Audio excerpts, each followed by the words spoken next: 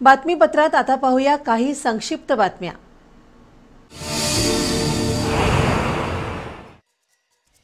शेर ए सिंध क्रांतीवीर हेमू कलानी यांच्या शहीद दिनानिमित्त गांधीनगर इथं भारतीय सिंधू सभेच्या वतीनं विविध उपक्रम पार पडले.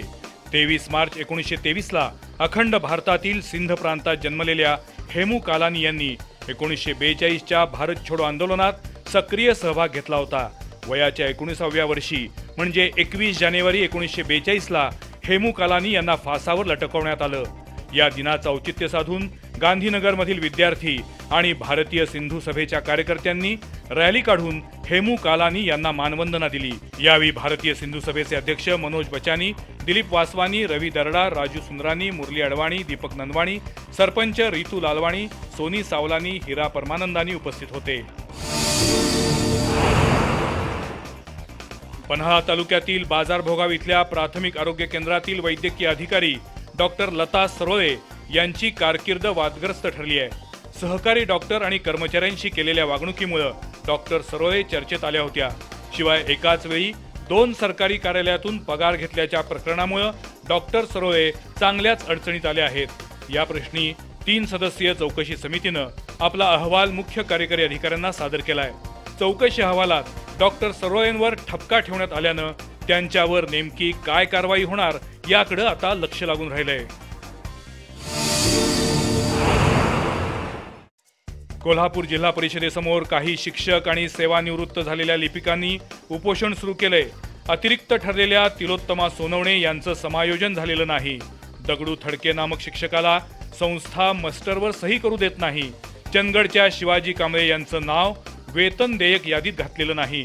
त्याशिवाय बनाबाई कांबळे सुरेश कांजिर्णेकर पांडुरंग पाटील नामदेव कांबळे पी के चौगले यांच्यासह काही शिक्षकांवर माध्यमिक शिक्षण विभागाच्या अनागोंदी कारभारामुळे अन्याय झाल्याची भावना आहे.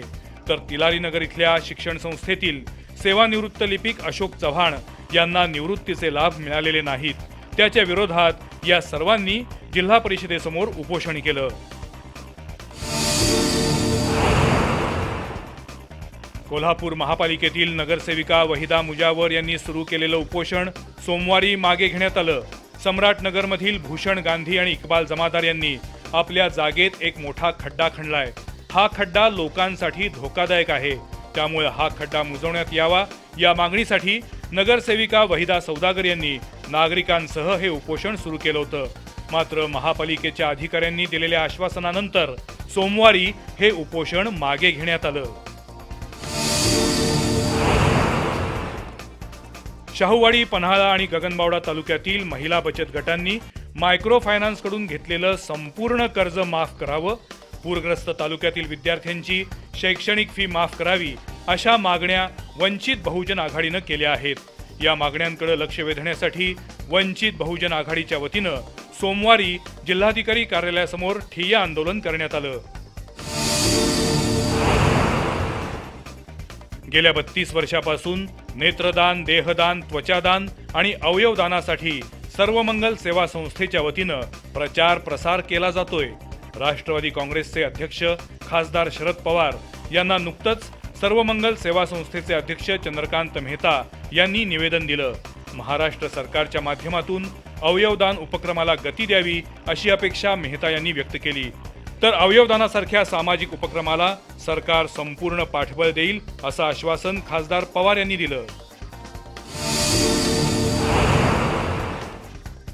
मुंबई इथं नुकत्याच पार पडलेल्या राज्यस्तरीय ग्रामीण स्केटिंग स्पर्धेत कळंबा इथल्या जे जे रोलर स्केटिंग अकॅडमीच्या चोवीस स्केटिंगपटूंनी उत्तम कामगिरी बजावली. खेळाडूंना अकॅडमी अध्यक्ष सुभाष जाधव उपाध्यक्ष महेश गायकवाड सरपंच सागर भोगम यांचं प्रोत्साहन मिळालं तर प्रशिक्षक जयराम जाधव आणि तेजस्विनी जाधव यांचं मार्गदर्शन लाभलं.